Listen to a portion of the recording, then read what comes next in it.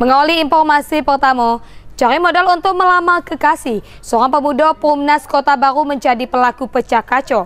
Pelaku dibekuk Polsek Celutung tak lama sesudah melangsungkan pernikahan. Polsek Celutung meringkus dua orang pelaku aksi pecah kacau di kawasan pasar. Pelaku adalah Anton Tabrani, alias Anton bin Taufik warga Pumnas Kota Baru, Kota Jambi. Anton nekat melakukan aksi pencurian untuk modal nikah. Peristiwa terjadi tanggal 7 Agustus 2018.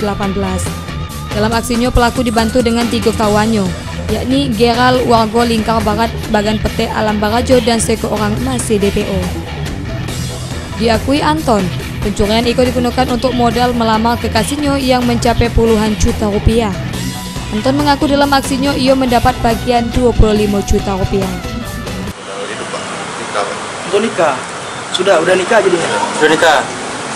Jadi eh, yang dalam hal ini perempuan tahu. Tidak.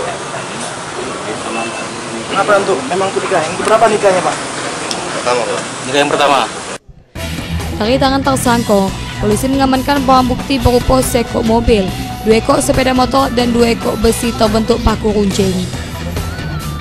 Pasal 363 KUHP dengan ancaman 7 tahun penjara.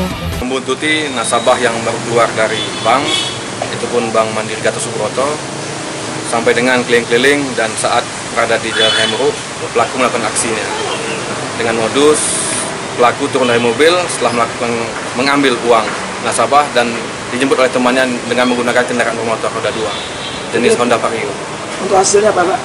Hasil yang dapat oleh pelaku, uang tunai 110 juta dan satu unit laptop milik korban. Asal Patahani, Cek Ngabari.